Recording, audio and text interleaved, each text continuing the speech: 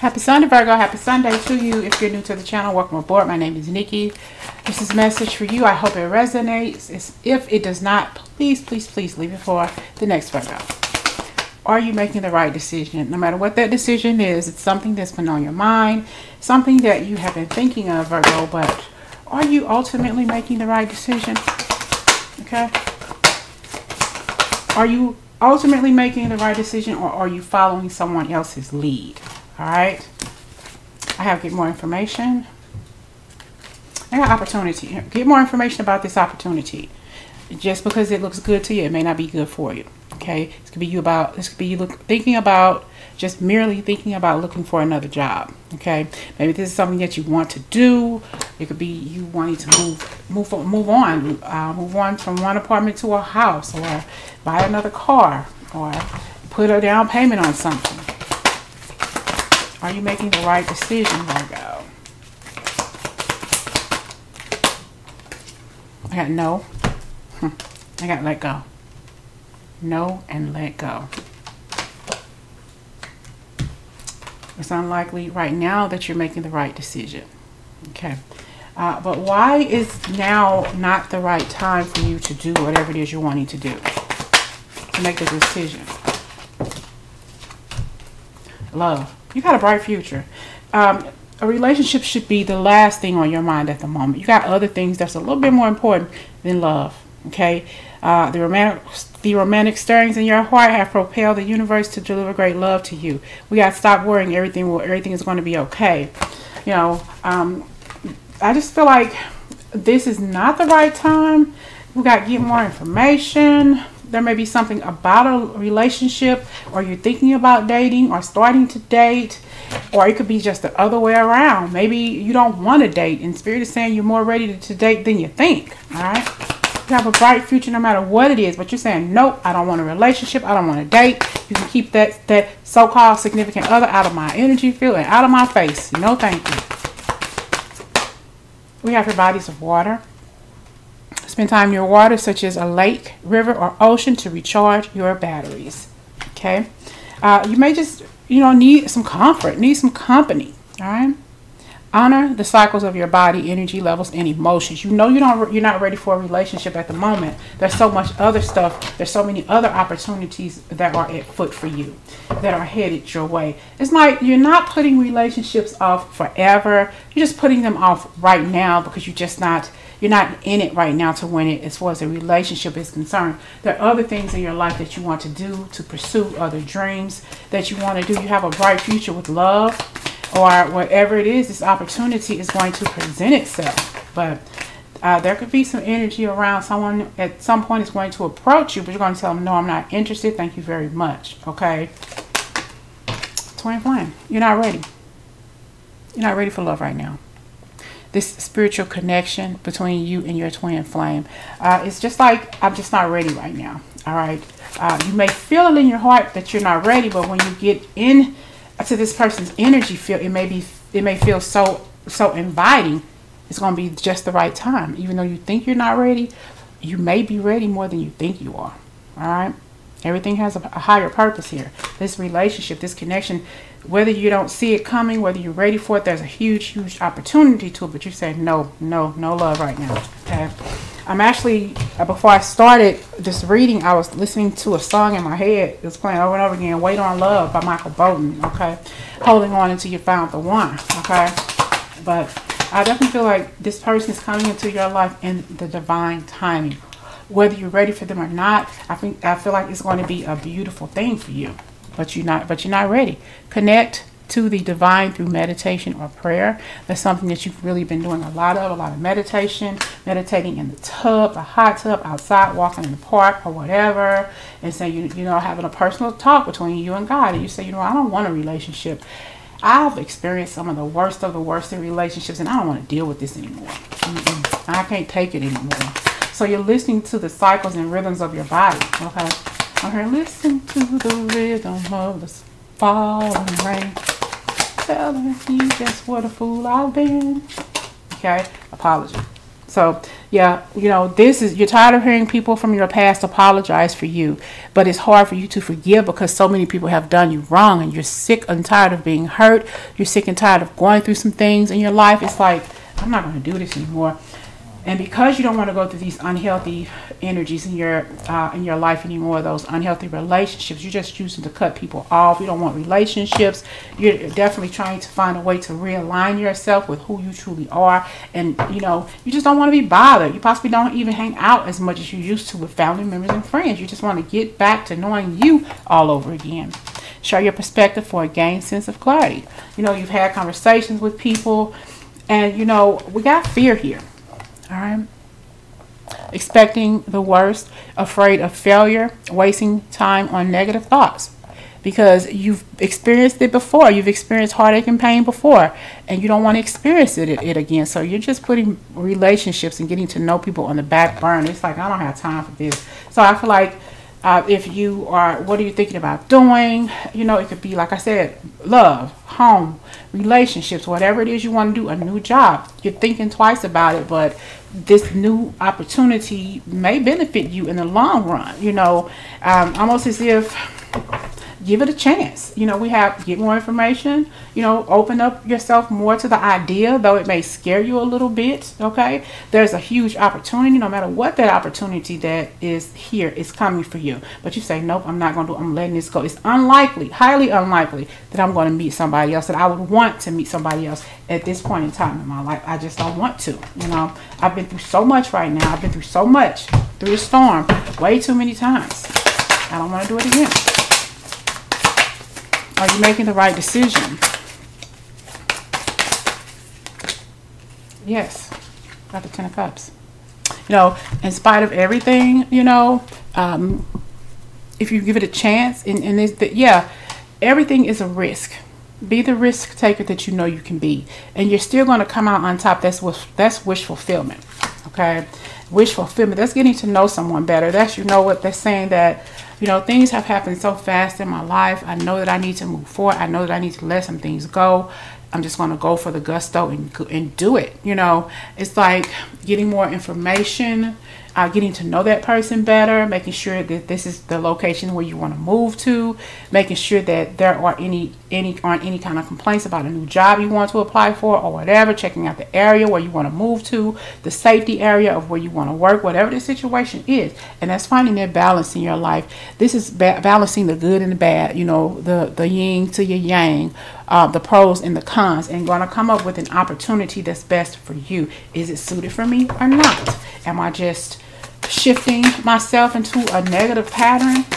Am I afraid? More than likely. But you can do this though. You can stand still and do what you need to do. You can stand tall and nurture yourself within this energy because you've been hurt a lot. All right. And you don't trust easy, whether it be relationships, areas where you move, your friends, you know, people who have, done you wrong.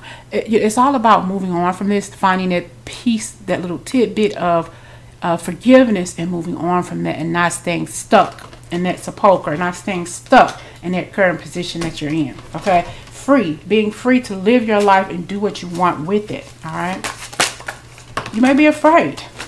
Okay? But don't shoot that opportunity down because of the things that you did in the past or what you experienced in the past. It's like you love blinded you, a relationship blocked you from moving forward, an opportunity at work blocked you from moving to the top, climbing the top of that corporate ladder. And you thought you were going to get there, but they gave the job and the opportunity to, to somebody else. But you said, I'm not even going to try anymore. I'm done. Mm-mm, I'm done. But, but I feel like that's what's holding you back. Fear is, is holding you back because you failed in the past, but you felt like you failed, but it wasn't my fault. It was somebody else who I trusted that was going to get me to the next level. They went behind my back and they they schemed to get my place or took what was the, what was supposed to be mine. Okay, we have here the Queen of Cups. Speaking your yourself into existence. What is it that you want with your life? We got the world here. We got completion. We got this world that awaits you. It's, it's not about giving up. I didn't say you gave up. I said that you possibly are afraid there's some fear holding you back. But would you be able to make this decision? Yes, you will be a success. you know, it's not as an oxymoron. It's not as an ox, as much as an oxymoron moron is what I'm hearing as you think it is. You can do anything you set your mind to, but you're worried that you're not going to be able to grow and evolve. You're already starting to grow. It's almost as if those seeds have been planted and now they're finally coming up. You're, you're able to see the fruit of your labor. It may not be a lot, but eventually they're going to bloom. They're going to bloom big time. But it starts with you. Okay, it starts with you. It starts with divine timing. It starts with you activating that that energy of not being afraid. Even if you go and do what you are meant to do, even if you fail, you keep on going forward. That's just a learning uh, mechanism. It's going to keep you moving forward, keeping you not giving up and saying, you know what, no matter how many times I fall, I'm going to get back up and keep on going until I reach the destination I was meant to reach. Okay. Are you making the right decision? Maybe there's something that you need to apologize to someone for, or, or, or vice versa. There could be somebody in your family who has some sort of, of disease or some sort of ailment that's keeping them wheelchair bound or homebound or something like that. But they're your family and you love them and they appreciate you for everything you've done. You've possibly been a care person a care provider for this person. You've done so much for this person and you hate to leave them, but you feel a duty to do for this person because they can't really do for themselves. And you feel like you don't trust you don't trust anybody else around them all right? It could be a family member it could be a child a, um, a spouse it could be someone who is autistic or uh, somebody who has ms or or was just you know maybe they had a limb. Um, they lost a limb due to complications of diabetes or something like this or but you feel bound by them. You feel like this is your duty. Um, but I feel like that's, that's one of the reasons why you're being held back is because this person depends on you and there's nobody else that can do like you can. And you're afraid to leave this person with anybody. You're afraid to put this person in a home or some sort of facility because you gave them a promise.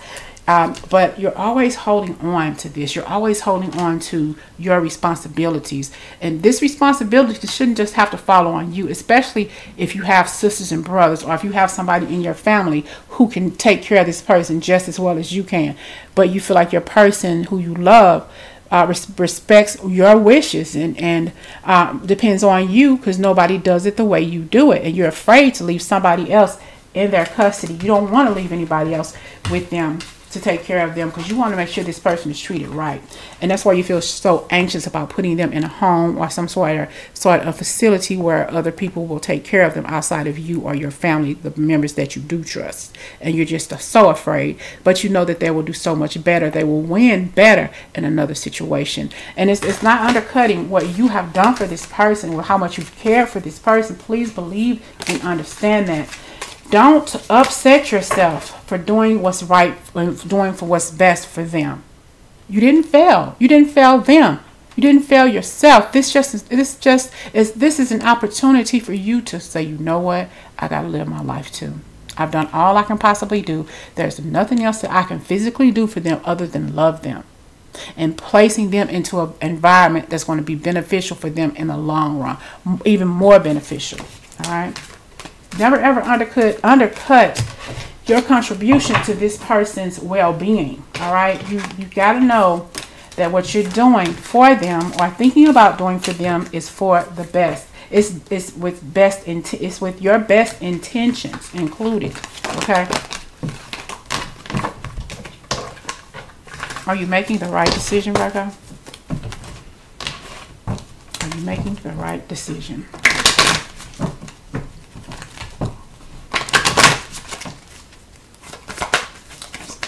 Virgo making the right decisions here.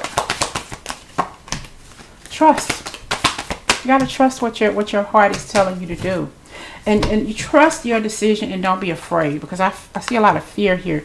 So you don't think that you're making the right decision, so you keep stopping. I feel like you're going back and forth, back and forth. One minute you're going to do it, the next minute you say, I changed my mind. It's best that I just stay here. It's best that I keep watch over this person myself. You know, I better not put this person in a home. This person never wants to be put in put in some sort of facility. Okay. We gotta look for another sign.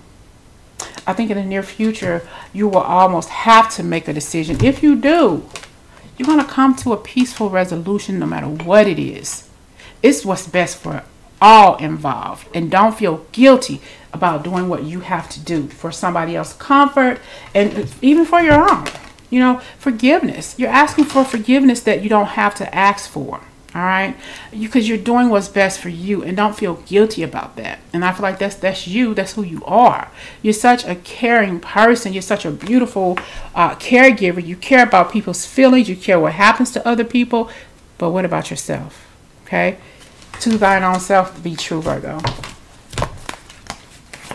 Trust that you're making the right decision. Don't be afraid to to move on. Don't be afraid to do what's best for you okay? Because you you you take care of everybody else and you are, are, a guardian over some over someone's else interest but what about you? You and your loved ones are safe and spiritually protected. Not only are you safe on this journey they are safe too. So they're saying go ahead and live your life virgo. Go ahead and do you they will be well provided for. I will be, I will, I can assure you of that. Okay, so they're not alone. Your spirit guides and your angels, your ancestors are going to take care of them. It's time for you to pursue your dreams, to take care of you. No need to worry. Don't worry about this. Don't feel the need to apologize. This is be way, way, way beyond your control. Okay. Is Virgo making the right decision for themselves?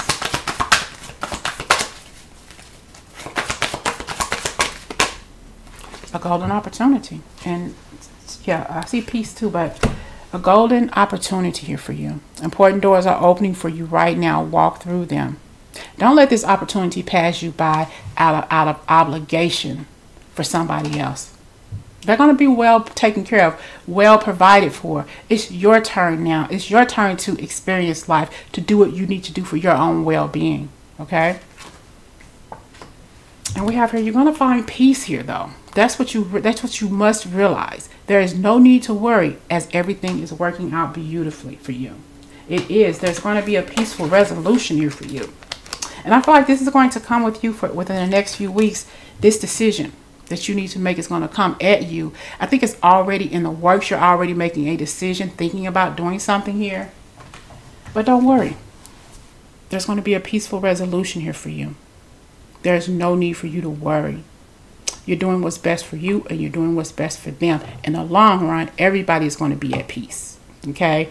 You can't let guilt or false guilt hold you back and keeping you stuck in a situation that you're not happy in anyway. There's nothing that you need to ask forgive, for forgiveness for. There's nothing else that you need to do but keep on being who you truly are. Okay? Let's get a final card. All right. Is everything okay with you? Will everything be okay with you? You're, doing what's best for you. You got rest, rest, rest, rest, I'm saying reciprocity. Okay?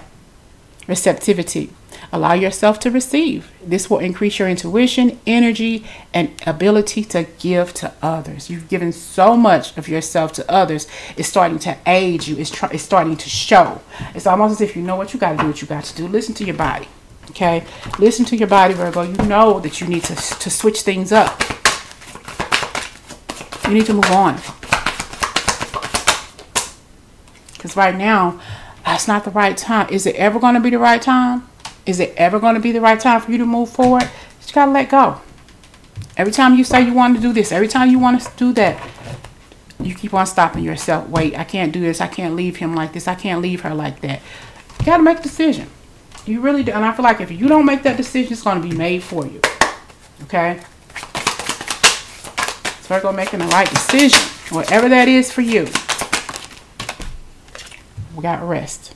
Listen to your body mentally and physically unwind. Get some rest. You know, it's all about the cycles and rhythms of your body. Because you have a bright future no matter what it is you decide to do. Don't worry, because your resources and everything you desire is going to be re rewarded to you because of what because of how helpful you've been to this person or whatever. Okay? Listen to this. Honor and listen to the rhythm of the falling rain. Okay? Honor the cycles of your body, energy levels, and emotions. What are you being guided to do? What is it that you think about doing? Where is it that you want to go? Okay, when you rest and you really lay your heart out on the table, then you'll see I gotta I gotta move on. I gotta do something else. So you're making a decision that's best for you. It's going to create some balance in your life. Uh, I say J. uh, I don't know why I just heard J, but it's going to have. It's going to find some. You're going to find some balance in your life because you're juggling too many things at once. It's time to find time for yourself. That's why we got the rest card here. You're not getting rest. You got to find this resting resting space in your life. It's going to help you make some decisions, some critical decisions that should have been made a long time ago. You're not the only person that can do this job. You're not the only person that can take care of that, that, that loved one. Okay? We have this strength in you determination, perseverance, and self discovery. I've been determined to help this person to persevere so they can live their life to the fullest. I have to find myself now. I got to find the strength in me to move on, to let go. It's not that I don't love this person, I don't love this environment or whatever, but it's time for me to move on. Be open to change because you're overcoming these obstacles. Yeah. Be receptive to new experiences. Change leads to growth. Okay? Overcoming these obstacles, obstacles, get back on your feet, gain strength from difficult situation. It's like you're going to have the strength to, to let go, okay? To do what's best ultimately for you because you got to live your life. You still got to live your life. You can't live their life for them.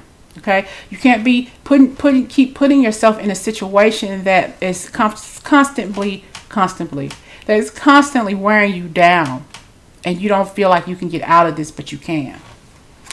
I just heard straighten up and fly right, Virgo. You got this. You got it. Let's get a final message. One card for Virgo. Moving on. Are they making the best decision that they can possibly make for themselves? Came out again. Bright future. Stop worrying. Everything is going to be fine.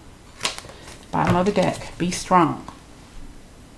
You are stronger than you think you are, and your strength assures a happy outcome yes, you're making the right decision, but you ultimately you got to do what's best for you. You can't care about everybody else so much that you keep putting your life on hold for them.